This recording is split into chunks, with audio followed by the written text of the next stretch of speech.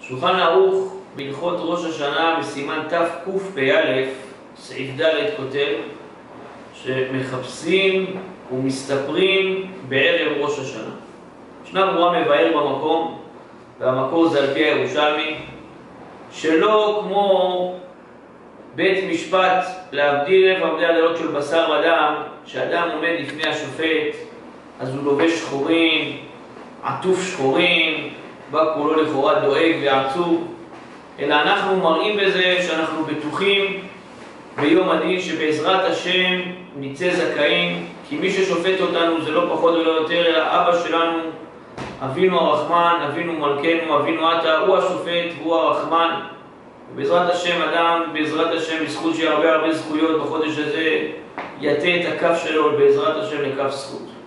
אז לכן יש עניין גדול להסתפר ולכבס וללבוש בגדים יפים, אומר המשנה ברורה, אמנם לא כל כך מפוארים כבגדי משי וכדומה, גם אישה שרוצה לשים תכשיטים, שלא תשים כל כך הרבה תכשיטים, כי בכל זאת צריך להראות את אימת הדין, אבל ודאי שצריך ללבוש בגדים נעים, כמו לכל יום טוב רגיל. מוסיף הרמה וכותב שטוב ונכון לטבול בערב ראש השנה.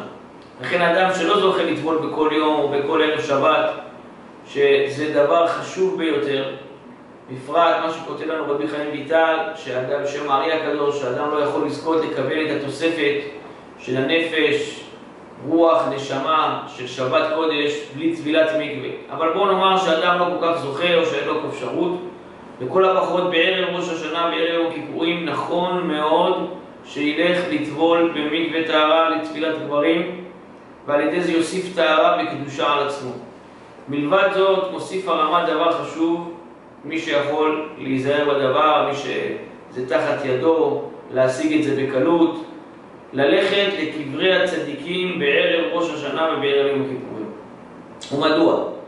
כי התפילה בקברי הצדיקים, כותב המשנה ברורה, מקובלת ביותר. כמו שרבי נחמן כותב גם, רבי נחמן ברסלב בספר המידות, שגם אם אדם לא כל כך זכאי בשמיים שתתקבל תפילתו, אבל על ידי שהוא משתטח על קברי הצדיקים, יכול, יכולה התפילה לעלות יותר, כמו שראינו אצל בן יפונה, שהוא הלך לחברון להתפלל אצל האבות הקדושים שיבקשו עליו רחמים.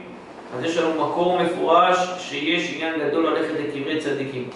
ולכן מי שיכול ללכת לקברי צדיקים בערב ראש השנה או בערב יום כיפור, או אפילו כמה ימים קודם לכן, לנסוע קצת, מי שגר בדרום, לנסוע קצת לצפון ולגליל, או לעיר התורה בני ברק, או לירושלים, יש לנו שם קברים של צדיקים, בהר המנוחות, בבית העלמין של סנהדריה, שמעון הצדיק ועוד, לפעול ישועות עבורו ועבור בני ביתו, והעיקר שיאמר בתפילה שבזכות הצדיק השוכן פה, נזכה בעזרת השם לגאולה שלמה, לשנה טובה, בריאות איתנה, ונזכה בעזרת השם לכתיבה וחתימה טובה. ברוכים תהיו.